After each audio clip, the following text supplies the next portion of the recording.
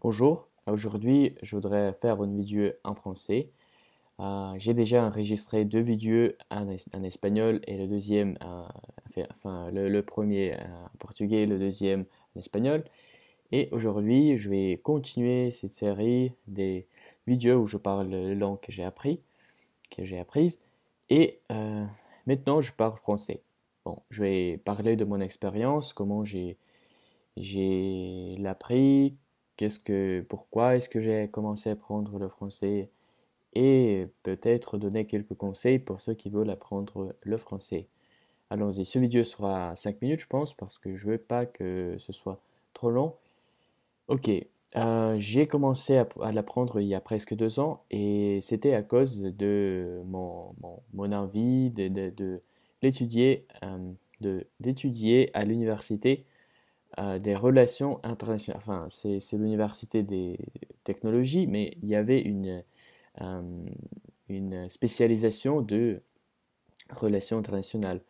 Et donc, euh, à l'époque, j'étudiais la sociologie et je devais de changer de faculté. Et pour faire ça, je devais passer l'examen de français. Donc, j'avais, c'était l'été et j'avais deux, deux mois avant le septembre pour passer l'examen, pour me préparer. Euh, bon, j'ai commencé à, l'apprendre de façon très très très intense. Euh, ça veut dire que j'ai commencé avec euh, un petit livre d'autodidacte. J'ai appris la base grammaticale pour, pour lire les textes. Et après deux, deux, trois semaines de me concentrer sur ce livre, j'ai commencé à me plonger totalement euh, dans la langue. Euh, ça veut dire j'ai commencé à écouter des podcasts, j'ai traduisé les textes et à l'époque j'utilisais euh, et maintenant j'utilise le podcast français authentique.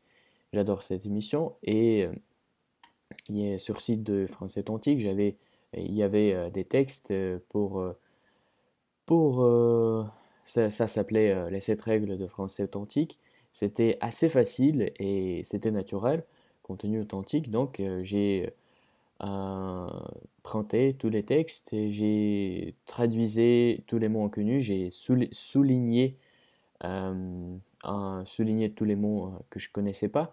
Mais c'était assez facile parce que j'ai déjà savais l'italien, donc les racines des mots, c'était c'était pas très compliqué de deviner la signification des mots. Et bon, j'ai traduisé les sept textes. C'était très intense. Je, le fais presque tous les jours. Et euh, après, à, part ça, j'écoutais des, des, émissions, des, des, des fichiers audio qui, qui étaient liés avec euh, ces textes. Bon, euh, en utilisant ces méthodes et en écrivant un petit peu en français, j'ai réussi à apprendre la base pour passer l'examen. J'ai passé l'examen sans problème.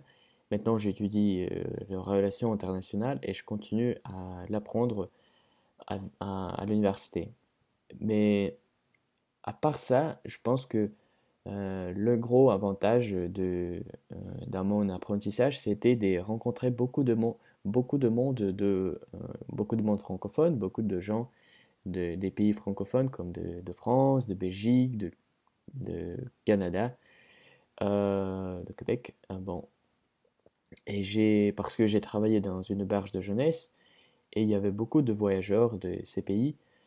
Euh, enfin, pas beaucoup, mais quand même, chaque, chaque semaine, une, deux semaines, je pouvais parler, mon français, parler français avec des, des voyageurs francophones. Et c'est ce que je faisais. J'ai pratiqué beaucoup mon français avec avec eux. Et après, j'utilisais beaucoup de beaucoup Skype. Euh, j'ai commencé mon blog euh, en français qui s'appelait polyglotmode.com. Enfin, ça n'existe plus, mais j'ai à l'époque, ça m'a aidé énormément. Euh, j'écrivais et les natifs me corrigeaient. Et c'est tout simplement comme ça j'ai appris le français. Bon, je vois qu'il n'y a pas de temps, il n'y a plus de temps de parler sur mes suggestions pour ceux qui veulent apprendre, mais je fais une autre vidéo.